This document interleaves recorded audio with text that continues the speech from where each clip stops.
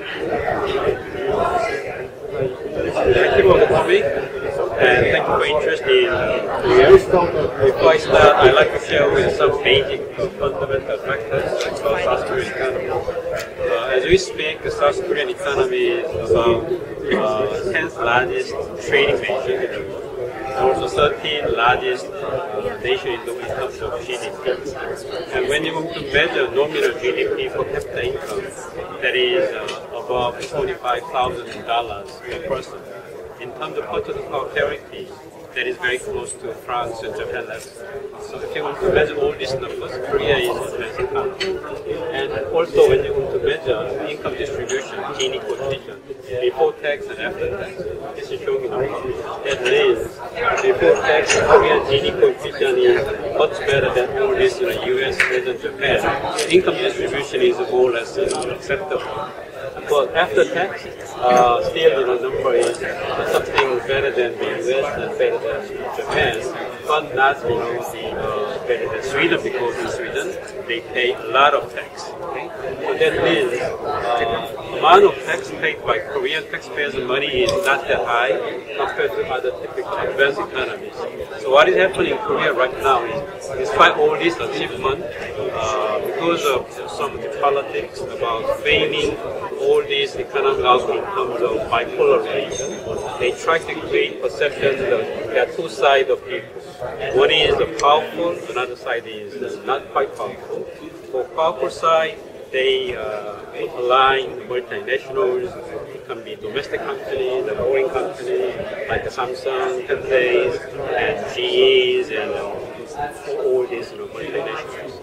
And they believe this you know, economic powerful side is evil forces because uh, they create a picture that these are the one who is going to create all this economic pie and uh, squeezing the weak and less advantageous people to the end, and they become emerge, they become uh, the biggest winners of technological advances, globalization. On the other hand, uh, going to frame, image the uh, Korean society. There are a large number of growing people who are poor, not quite affordable, and uh, the reason why they come into this station is because they've been exploited by powerful countries. And in last 10 years, Korean politics was propelling this sort of bipolarization because in the past 10 years we've seen the power taken by left-leaning government and they spoke for more distribution. And so that government come with idea of bipolarization society. But funny thing is, even though they stand for uh, more income distribution, and the policy they did was some, you know, the mix of uh, neoclassical uh, market opening at the same time, more government regulation, income transfer. But income distribution is income distribution Korea has been worsening during those years. So when you consider track record of those left-leaning governments, even though they stood for more distribution, but income distribution was getting even worse. And then uh, two years ago, uh, country was going through presidential election. That was for the first time in Korean history. Right-wing candidate, they never spoke about how they can uh, enhance growth potential. They never spoke about economic growth, but most time they spend about economic democratization, which meaning that more income redistribution from wealthy and from big business to small, medium-sized, and less advantageous people. So because of that, uh, economic growth has been declining, and typically Korean economy is between 3 to 3.5 percent from Western standard, that is not quite disappointing, but Korean standard of registering, you know, 8 to 10 percent economic growth after 30 years, this is so disappointing. And also, what is happening in Korea is uh, so many Korean big business they are moving away from the investment from inside Korea to outside Korea. So in past six years, what is happening is uh, outside flow Korean investment to China and East Asia is excelling migration three to one. So that's. And you must be wondering why why that's happening. So because of all this, even though in terms of appearance, in terms of people living standard, the consumption capability, you know, So I think it's countries are very time for more interactive discussion with the speakers.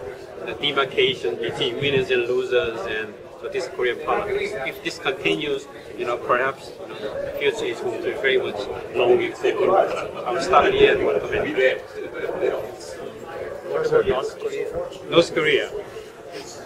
I do not know anything about North Korea except except uh, well, uh, perhaps you know, North Korea and Cuba is one of two closed economic systems in world, and the only way they can survive on the long term, not immediate term, is not know, strengthen their uh, nuclear capacity, but very much address the opening of reform but you know, Kim family now reaching into the third son. Uh, they understand uh, that may be good for those Korean people, but not may good for those Korean regime. So because of that, they are much, you know, very much in trap between very much difficult choices. We'll see what happens. Has, has the bipolarization that you mentioned led to a lot of populist policies here? Or no? That's right, precisely, precisely. So because of that, uh, right wing and left wing, they both talk about bipolarism. They both promise more redistribution. But the question is, as we've seen in many Latin American countries and European countries, unless you have economic growth keep going, there's not much basis for redistribution. These days, know, people they can easily move from one country to another country.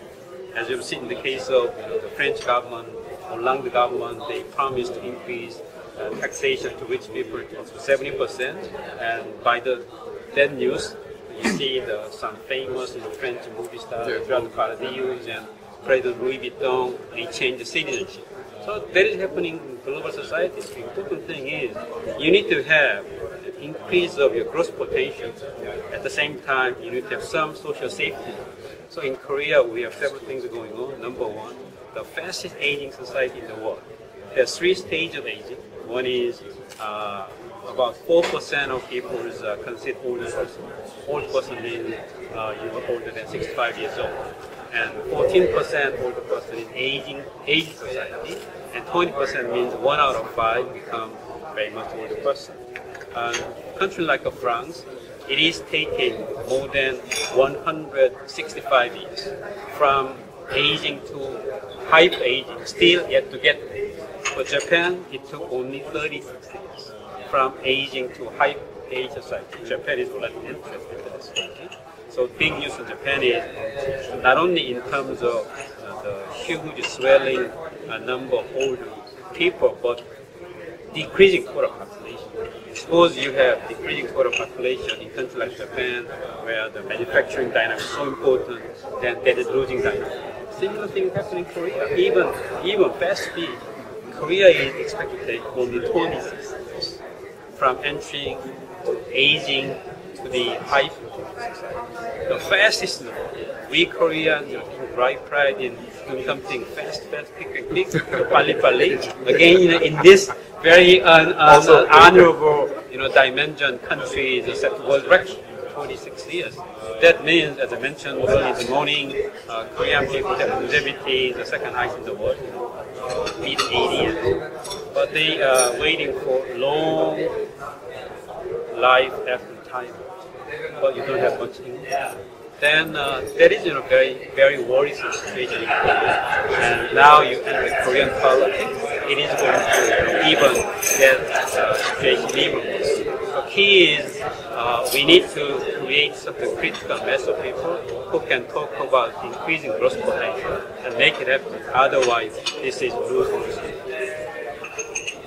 What about immigration? Immigration, yeah, good question. Because uh, Korea is uh, one of the closest nations in the world in terms of immigration, along with Japan. There's some cultural historical reason because these two countries, they believe they are you know, pure blood country in the African society. So they've been doing it for more than century after century. So because of that, they are not willing to open doors and to great extent. Uh, I think you know the country uh, need to engage in huge debate whether or not they're going to total reform in immigration policy. I do not see that will uh, come in in any, any few years. But it's interesting. Check Uh, I don't know if, you have talked about North Korea. Just wondering if there's like a Just a reminder, there's only one minute left for this round. unification. Yes. Well, uh, the only way I see reunification in Korea is not go through the war, uh, is you know collapse of North Korea. And in case that happens, the people are quite wondering what happened to North Korea, and the country is going to be left, you know, the country without any political regime, or country vacuum. Another possibility that is going to be uh, reunified under South Korean terms and conditions. But even that happens uh, when you consider the experience of West Germany and East Germany, that will translate tremendous amount of billions, billion dollars, and perhaps you know that is not good, good news for Korean economy for next 10 years. But eventually it, it will be good news. So the discussion in Korea right now we're having is we need to prepare by uh, increasing our growth potential. With this one last round, we will come to the end of our Asia Cafe. So we have